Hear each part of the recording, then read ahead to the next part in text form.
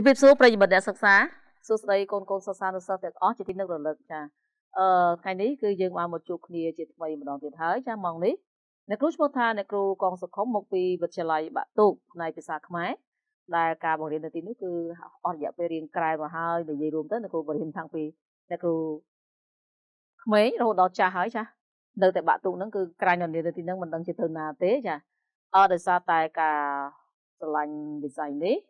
ដោយសារតែការចង់ផ្ទេរពុទ្ធិឲ្យទៅកូនកូនចំនួនក្រោយអញ្ចឹងក៏នឹងគ្រូបន្តអាជីពនេះរហូតមកចាអឺការដែលយើងបានមកជួបជុំគ្នានៅក្នុងការរៀនពីចម្ងាយនេះគឺដោយសារតែមានការសហការរវាងក្រសួងអប់រំយើងជាមួយនឹងក្រុមហ៊ុនទូរស័ព្ទចល័ត Smart ណាក្នុងការថតជាខ្សែវីដេអូឃ្លីបនេះឡើងដើម្បីជាជំនួយស្មារតីដល់កូនកូនសិស្សានុសិស្សប្រិយមិត្តអ្នកសិក្សាដែលចង់ចេះចង់ដឹងទៅលើអ្វីដែលជា ការសិក្សានៅក្នុងកម្មវិធីសិក្សាមេរៀនអក្សរសាស្ត្រខ្មែរថ្នាក់ទី12ចាអញ្ចឹងអ្នកគ្រូគិតថាទោះបីជាមិនបានសពគ្រប់ទោះបីជាមិនបានគ្រប់គ្រាន់ដោយប្រការណាក៏ដោយក៏វាជាចំណែកមួយសម្រាប់ជួយដល់ការសិក្សារបស់កូនកូនឲ្យកាន់តែប្រសើរឡើងចាអឺថ្ងៃនេះគឺយើងបានមកបន្តជួបគ្នានៅក្នុងមេរៀនដដែលទេកូនគឺមេរៀនសិល្បៈ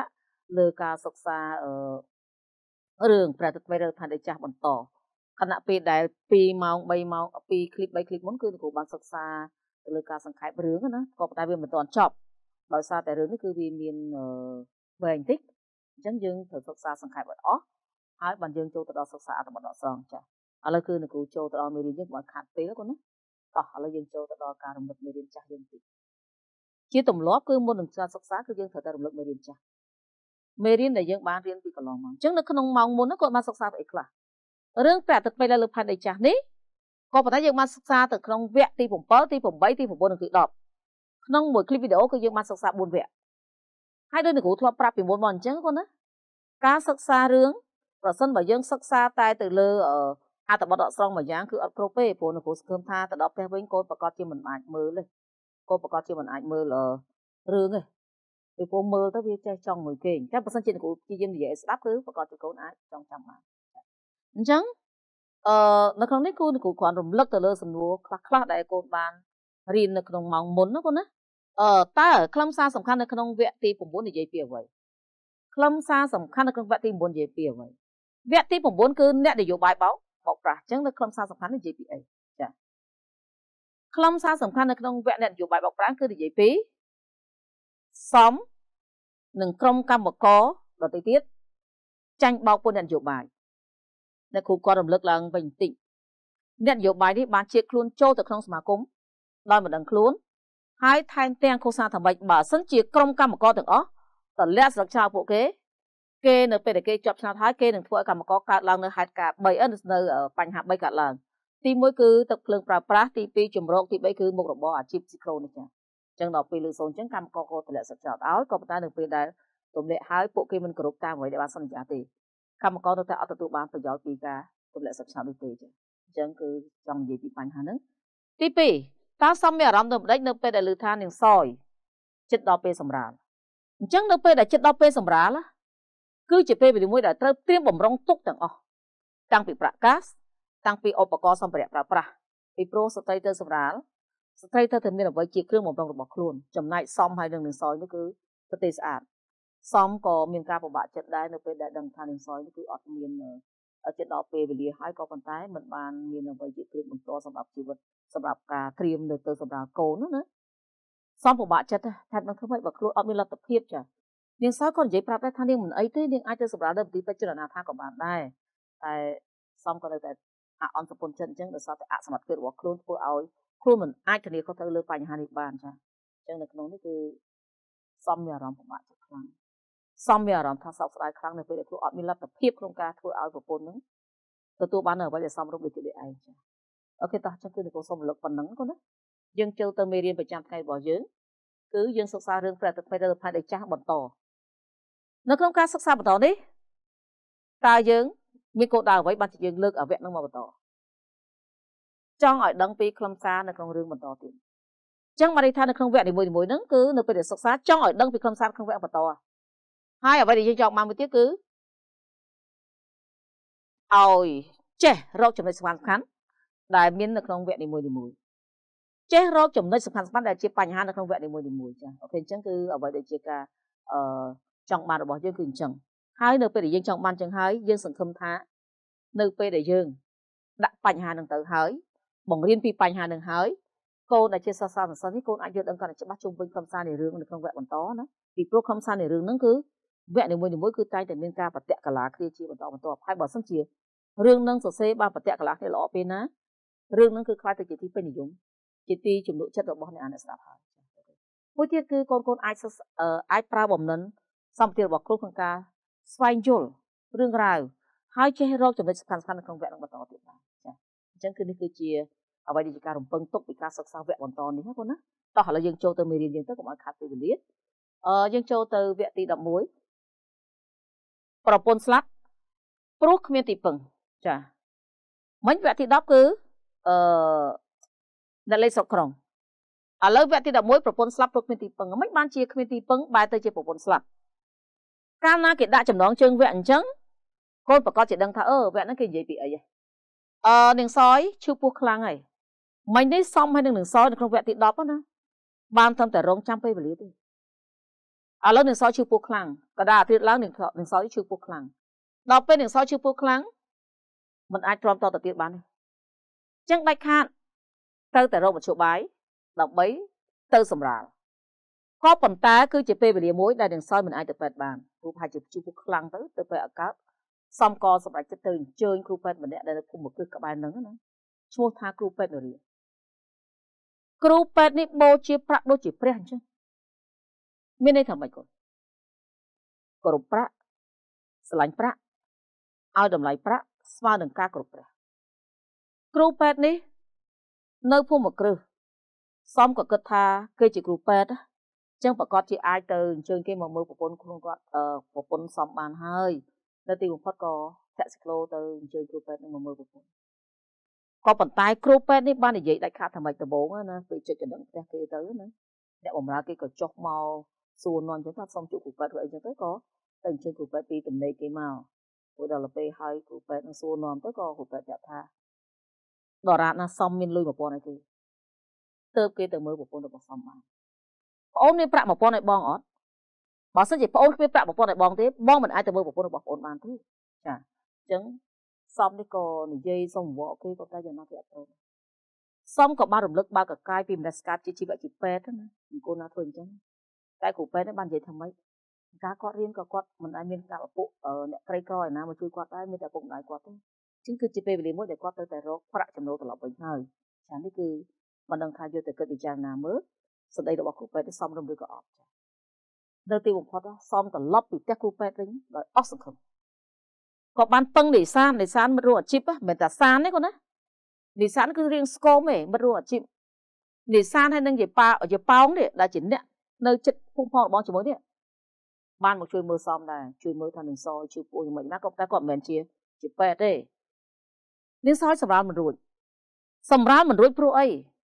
ព្រោះកូននៅតែតឹងពោះងាងដឹងហើយថាស្ត្រីនៅពេលដែលមានផ្ទៃពោះទៅតែទៅមន្ទីរពេទ្យដើម្បីទៅពិគ្រោះជាមួយគ្រូពេទ្យឲ្យដឹងថាកូននឹងវានៅយ៉ាងម៉េចកូននឹងមកវាយក្បាលចុះហើយឬនៅចូលឡាងលាអាងតាគៀកអាចសម្រាប់បានហើយឬនៅចាកូននៅទីបំផុតអត់ដែរទៅចឹងអត់ដឹងយ៉ាងម៉េច អញ្ចឹងនឹងសយសម្រាប់មិនរួចយីប៉ោងក៏បានប្រាប់អរិសានឹងទៅអញ្ជើញឈ្មោះបុរាណមកវិញឈ្មោះថាយីប៉ោះនៅឯចិត្តពេទ្យចិនណារួចដល់ទៅពេលទៅអញ្ជើញឈ្មោះបុរាណមកដឹងថាធាក់ស៊ីក្លូវាមិនដូចយើងជិះម៉ូតូទីឡានឯណាចាវាអត់លឿនណាទីបំផុតក៏នៅពេលដែលទៅពឹងយប៉ោះណានេសានក៏ដឹកយប៉ោះយឺតយឺតហើយយប៉ោងដឹកមកដល់ពេលដឹកមកដល់ហ្នឹងគឺជាពេលវេលាមួយដែលហួសពេល នាងសយសម្រាប់អត់រួចដោយសារតែកូនតតឹងពុះនេះធ្វើឲ្យនាងលាចាក់លោកទាំងម្ដាយទាំងកូននៅក្នុងផ្ទៃទស្សនភាពដ៏សោកសង្រេងនេះគ្មាននរណាមួយអាចទប់ទៅផ្លេចបានទេនៅពេលដែលនេសានត្រឡប់វិញបានត្រឹមតែឃើញសំអង្គុយ3សពប្រពន្ធអប់សពប្រពន្ធយំគួរអាណាធំបរោះម្នាក់ដែលធ្លាប់តែរឹងមាំខ្លាំងណាតែនៅទីបំផុតបែរជាកំសាកបែរជាទុនខ្សោយដោយសារតែបរណភាពរបស់ប្រពន្ធនិងកូន ព្រោះវាអស់អីអាលីងទាំងអស់បើថាអស់ប្រពន្ធក៏នៅកូនតែនៅពេលនេះគឺសូម្បីតែកូនក៏មិនសល់ដែរសភាពសោកសង្រេងនេះគ្មាននរណាអាចទប់ទៅផ្លេចបានទេអ្នកចិត្តខាងបានត្រឹមតែអាណិតទេជួយអាណិតហើយក៏បានជូនលុយសំខ្លះខ្លះទៅដើម្បីឲ្យទៅតាមលទ្ធភាពហ្នឹងមិនមែនជូនបានច្រើនទេដើម្បីឲ្យសំមានឱកាសបូជាសពប្រពន្ធឲ្យបាននឹងដូចគេឯងតិចទៅវាកុំឲ្យវាពិបាកមើលពេកណាអូខេអញ្ចឹងយើងចប់វគ្គទី11ហើយយើងចូលទៅវគ្គទី12 ការរំលឹកគុណនៃអ្នកនយោបាយចានឹងយ៉ាងនេះទេឥឡូវនេះសំគឺអស់អីអាលីងប្រពន្ធក៏អស់កូនក៏អស់សង្ឃឹមថា នៅពេលដែលប្រពន្ធឆ្លងទលេមកបានកូនមកគាត់ជួយសម្រាលដល់ជួយសម្រាលដល់ទុកសោកខ្លះបង្កើតភាពសប្បាយរីករាយខ្លះអញ្ចឹងទោះបីថាបន្ទុកធនក៏ដោយក៏ប៉ុន្តែនៅពេលនេះគឺអស់ហើយទៅអញ្ចឹងបន្ទាប់ពីប្រពន្ធស្លាប់ទៅណាសំថាក្នុងស្ពានទំនេរទៀត អត់ការងារធ្វើដើរតែដើរតែតោបដឹងអត់មានគោលដៅទេសំក៏បានទៅផ្ទះមីទៅពិភាក្សាជាមួយមីនៅពេលដែលសំទៅផ្ទះមីក៏ដឹងថាមីកំពុងតែមានជំងឺមីជួយក៏អត់ហ៊ានពឹងពាក់គេទៀតទេព្រោះគេជាកម្មករស៊ីក្រូដូចគ្នាណាហើយឥឡូវបើយើងមានដៃមានជើងមានកម្លាំងដូចគេដែរយើងទៅពឹងគេរហូតហើយអត់មានបន្ទុកផងនៅពេលហ្នឹងវាដល់ដូចជាមិនសមទេអញ្ចឹងក៏មីក៏បានផ្ដល់យោបល់ថាសំឯងបានជួយលោកយើងច្រើនណាស់អញ្ចឹងគាត់ជួយគាត់ទៅពឹងពាក់គាត់ម្ដងណា ដើម្បីជួយសកលធៈព្រោះអត់មានសកលធៈអញ្ចឹងក៏សំក៏គិតថាអឺមែនអញ្ចឹងក៏ទៅពឹងមកអត់ទៅពឹងលោកយើងទៅដល់លោកយើងធ្វើជាមិនស្គាល់គាត់ទៅចុចទៅដឹងថាគេគេបើកមកគឺឃើញណាគេដឹងថាសំហ្នឹងតែធ្លាប់ជួនកាលពីបោះឆ្នោតក៏ប៉ុន្តែលោកយើងនេះធ្វើជាមិនស្គាល់អាហ្នឹងឲ្យដឹងណាគាត់ណាអ្នកនយោបាយមួយចំនួនគឺអញ្ចឹងព្រោះដល់ពេលធ្វើជាមិនស្គាល់ក្រៅពីសំគិរិវកិច្ចហើយគេក៏សួរសំថាមកមានការអីអញ្ចឹងណាសំក៏ថាប្រាប់ថាមកមកជួសិក្រូធៈ អញ្ចឹងនៅពេលដែលលឺសូថាមកជួសិក្រូធៈអញ្ចឹងលោកយាយប្រាប់ថាអញ្ចឹងយកប្រាក់150រៀលមកកក់ឲ្យគាត់មកសំថាអត់មានប្រាក់កក់ទេព្រោះអត់សុំជួសិក្រូធៈដោយមិនចាប់បាច់មានប្រាក់ណាប្រាក់កក់ណាតែលោកយាយបានឆ្លើយទៅវិញថាម៉េចបើប្អូនគ្មានប្រាក់100រៀល150រៀលឲ្យបងទេមកកក់ទេ បងមិនអាចឲ្យសក្លោបងទៅបងអូនបានទេពីព្រោះសក្លោបងទិញមកអស់ទៅលុយទៅកាក់អញ្ចឹងបើគ្មានទេគឺបងក៏មិនអាចជូនសក្លោបងទៅបងអូនបានដែរសមនៅពេលដែលសូប៉ុណ្ណឹង វាហាក់ដូចជាឃើញសណ្ដានចិត្តរបស់មនុស្សច្បាស់សំក៏បានវកគេយ៉ាងណាគឺគាត់ព្រមដែរតើយក150រៀលមកឲ្យទៅទៅបាន ទីបំផុតសំក៏បានរំលឹកបាក់កកាយទៅដល់ការបោះឆ្នោតថាខ្លួនបានជួយនៅលោកយាយឲ្យជាប់ឆ្នោតជាស្ថាពរក៏ប៉ុន្តែលោកយាយបានសកត់ធ្ងន់ថាម៉េចការបោះឆ្នោតណាជាកតបកិច្ចរបស់បងអូនជាពលរដ្ឋទេជាកតបកិច្ចរបស់ពលរដ្ឋទេចឹងចង់បងអូនបោះឲ្យអ្នកណាវាជារឿងរបស់បងអូនជាសិទ្ធិកតបកិច្ចរបស់បងអូនក៏ប៉ុន្តែគាត់ជាប់ឆ្នោតនេះគឺដោយសារតែមហាជនស្រឡាញ់គ្រប់គ្រងបង គ្រប់គ្រងគាត់គ្រប់គ្រងគាត់អញ្ចឹងគាត់ត្រូវតែជាប់ឆ្នោតហើយកុំមករំលឹកបើកកាយពីព្រោះគាត់បានផ្ដល់អ្វីតាមការសន្យាទៅឲ្យកម្មករអស់ហើយចាអញ្ចឹងសំអស់សង្គមកាន់តែខ្លាំងហើយដោយសារតែអ្នកនយោបាយរូបនេះធ្វើឲ្យសំគិតថាអ្នកនយោបាយគឺជាអ្នកនយោបាយបោកតទៅទៀតអូខេអញ្ចឹងគឺយើងចប់វគ្គទី12ហើយសូមចូលទៅវគ្គទី13គឺជាប់ឃុំព្រោះអនាថាវគ្គទី13ជាប់ឃុំព្រោះអនាថា ជាប់ឃុំហើយនឹងជាប់គុកគឺខុសគ្នាគាត់ណាជាប់គុកគេកំណត់រយៈពេលយូរអាចមួយខែពីរខែបីខែឡើងទៅក៏ប៉ុន្តែបើជាប់ឃុំនេះគឺកំណត់ត្រឹមតែរយៈពេល48ម៉ោងឯងពីរយប់ពីរថ្ងៃប្រសិនបើគ្មានការប្រឹងប្រែងគ្មានរឿងអីតាក់ទងទេគឺគេអាចដោះលែងវិញបានចាអញ្ចឹងជាប់ឃុំព្រោះអនាថាកូនប្រមាលមើលទៅដល់ចំណងជើងវគ្គមកគេចង់និយាយពីអីមិនបានជាជាប់ឃុំព្រោះអនាថាដឹងហើយថានៅពេលដែលសំមានប្រាក់ឲ្យថ្លៃផ្ទះឈ្នួលតទៅទៀតណាឲ្យខ្ទមតទៅទៀតណា គេក៏បណ្ដឹងចឹងគេក៏បណ្ដឹងសំចេញពីខ្ទមអញ្ចឹងនៅពេលដែលបណ្ដឹងចេញនេះធ្វើឲ្យសំនោះរស័តបណ្ដែតអត់មានគោលដៅទៀតសំដើររស័តបណ្ដែតលើដងវិថីអត់មានគោលដៅនិយាយរួមទៅត្រាច់ចោលតែគ្មានគោលដៅអត់ដឹងថាតាណាតណីហើយហាក់ដូចជាអត់មានអ្វីជាបន្ទាល់សម្ភារបំពាក់ក៏មិនល្អជាអត់បានអ្វីទទួលទានអត់មានការងារធ្វើអស់កន្លែងសាកស្រ័យ សំក៏ចេះតែដើររសាប់ដដែលទៅក៏សាប់តែវេលាយប់មួយភ្លៀងធ្លាក់ខ្លាំងភ្លៀងធ្លាក់ខ្លាំងអត់មានកន្លែងជ្រកក៏រត់ទៅជ្រកនៅក្រោមសំចាប់ព្រះវិហារវត្តព្រះពុទ្ធមានបុណ្យវត្តព្រះពុទ្ធមានបុណ្យស្គាល់ហ្នឹងកូនណាទៅជ្រកហ្នឹងគឺមានបរិវារពី3ក្បាលដែរគឺសំណក់ហើយសំណក់កាលណាវាល្ងាគឺវាអោបខ្លួនវាមូចូលគ្នាអញ្ចឹងមកតែសំបានអង្គុយត្បោងក្បាលជង្គង់ បានទាំងតែអង្គុយត្បោងក្បាលជង្គង់ហើយសម្លៀកបំពាក់រហ័យរយ័យដូចជាស្មុំវិចកអញ្ចឹងអុយដល់ទៅពេលល្ងាផងអីផងអញ្ចឹងអត់ដឹងធ្វើម៉េចទេ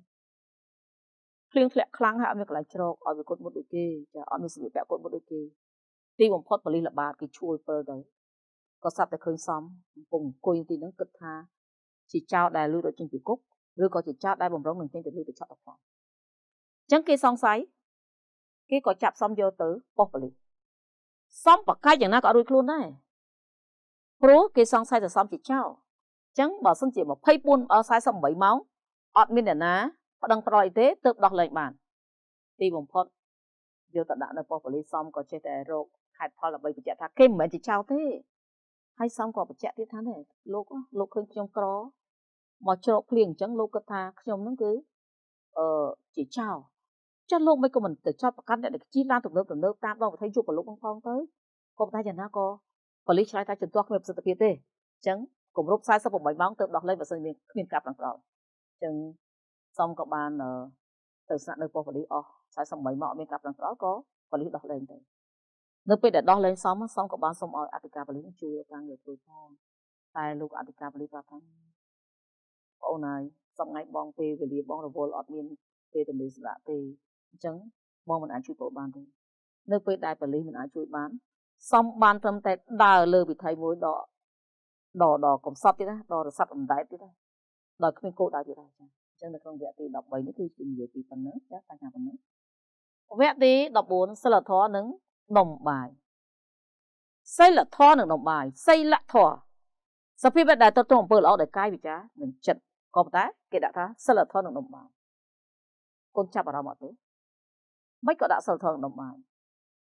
ពេលដែលគេដេញចេញពីផ្ទះតែតើអត់មានគោលដៅចេញពីប៉ុស្តិ៍ប៉ូលីសមកវិញតែតើអត់គោលដៅសំចាប់ផ្ដើមអត់អាហារទៀតណាមួយថ្ងៃមួយថ្ងៃបានត្រឹមតែផឹកទឹកម៉ាស៊ីនតាមចិញ្ចើមថ្នល់តាំងបាយឃ្លានផឹកទឹកឃ្លានផឹកទឹកជំនួសបាយមួយដល់ទៅពេលអត់មានអាហារឲ្យកាពះកិនណាកាពះធ្វើបដិវត្តដល់ពេលកាពះធ្វើបដិវត្តទៅ ដៃជើងត្រូវតែរកអាហារឲ្យឲ្យកាពះកិនហ្នឹងអញ្ចឹងនៅពេលដែលសំចេះទៅដើរលើដងវិថីក៏ទៅដល់កន្លែងហាងអាហារមួយឃើញអ្នកមានគេហៅអាហារឡើងពោពីតុកពីគួរឲ្យឃ្លានដល់ទៅពេលយើងឈោមមើលគេទាំងស្រក់ទឹកមាត់ទៅទាំងថាលិតទឹកមាត់ថាវាឃ្លានខ្លាំងណាតែយើងអត់មានលទ្ធភាពដូចគេទេបានតែឈោមមើលគេនៅទីបំផុតអឺអ្នក ដែលធ្វើការនៅទីហ្នឹងនៅតុកតុកអាហារក៏គេដេញចេញទៀតដោយសារគេគិតថាយើងជាស្មូនចោចាអញ្ចឹងក៏នៅពេលដែលដេញក៏សំក៏ដើរមកទៀតមកហ្នឹងពេលដែលដើរដល់ផ្សារចាស់ទុំខ្លួនអាហារណាព្រោះដល់ពេលដើមដល់សពចាស់ទុំខ្លួនអាហារជុំឃ្លានស្ទើររបស់ពោះក៏តែទៅអត់រួចដោយសារតែអត់មានលុយទៅទៅទិញគេសំក៏ចេញពីផ្សារចាស់មកក៏ដើរមកដល់កន្លែងរោងកុនតារានៅលើវិថីវេដែងណាអញ្ចឹងទៅដល់រោងកុនតារាក៏ស្រាប់តែគាត់ជូនគុណប្រឆាំងចប់ ដល់ពេលគុណប្រឆាំងចប់អញ្ចឹងប្រឆាំងចប់អញ្ចឹងគឺទៅតែជាគ្នាចេញពីរោងគុណដែរពីដើមគឺចូលចិត្តមើលគុណអត់ដូចឥឡូវឥឡូវជួនកាលមើលគុណដូចគុណក្មេងក្មេងក្មេងជំទង់ជំទង់វាទៅមើលតែចាស់ចាស់ដូចនៅគ្រូអីគឺឲ្យទៅមើលតែដេកលក់ក្នុងរោងគុណនឹងឥឡូវចាស់ដូចជាមិនដូចជាមិនមានចំណាអារម្មណ៍ថាទៅមើលគុណក៏តែមិនបានន័យថាគេដូចនៅគ្រូទាំងអស់ហើយគាត់តែបើនិយាយពីអារម្មណ៍នៅគ្រូពេលវេលានៅគ្រូអត់សូវមានអញ្ចឹងឲ្យទៅមើលគឺនៅគ្រូខេងហើយចាទីបំផុតគឺ ដើរទៅដល់រោងគុនតារាគេប្រចាំងគុនគុនប្រចាំងចប់អញ្ចឹងអ្នកមើលកូនគេទៅជាតិចេញហើយមានអុកញ៉ាពីរអ្នកប្តីប្រពន្ធណាអុកញ៉ាសបោសបាត់ហ្នឹងក៏បានទៅមើលកូនដែរដល់ពេលទៅមើលកូនអញ្ចឹងទៅគេគេបញ្ជាចេញពីរោងកូនមកគាត់ក៏ទៅចេញមកអង្គគេដល់ពេលចេញមកអង្គគេអញ្ចឹងប្រពន្ធគឺមានអាកបោបស្បែកកពើបៀតជាប់នឹងឃ្លៀកបញ្ជាចេញពីរោងកូនសំក៏សម្រេចចិត្តថាត្រូវតែសំចត់សិលធម៌ទុកជើសយកដុំបាយសិន ទីបំផុតសំក៏សម្រេចចិត្តទៅឆក់កបោបវាឆក់កបោបវឹងពីក្លៀកភរិយាលោកអង្គញាសវោសម្បត្តិនេះអធិស្ឋានហើយដើរសម្ដៅទៅខាងក្រោយរត់ទៅខាងក្រោយសាលារចនា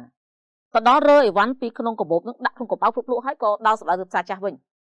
ឆក់កបោបគេនេះសង្ឃឹមថា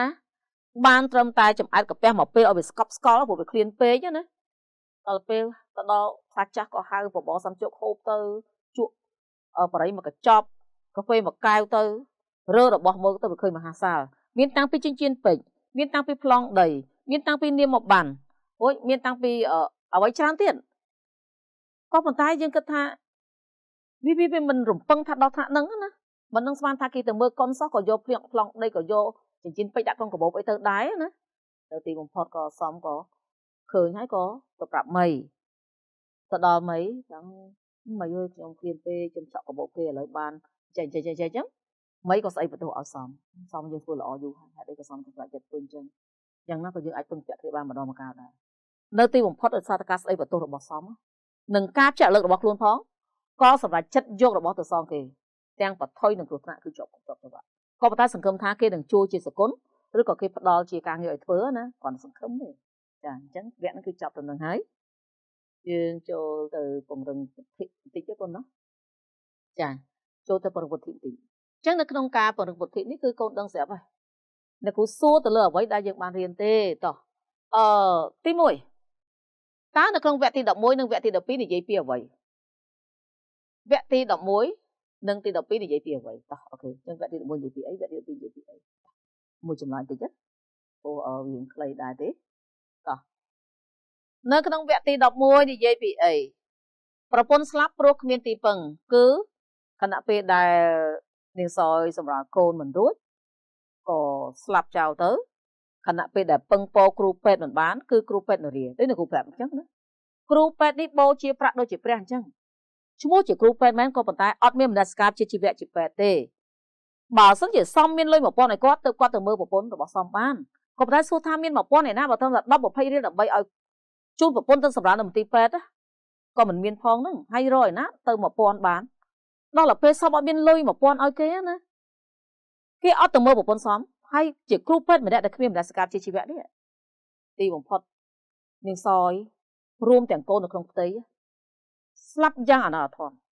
អញ្ចឹងការស្លាប់របស់នាងសយនេះវាហាក់ដូចជាស្ដាយឲ្យឃើញពីសម្ដានរបស់លោកគ្រូពេទ្យមួយចំនួន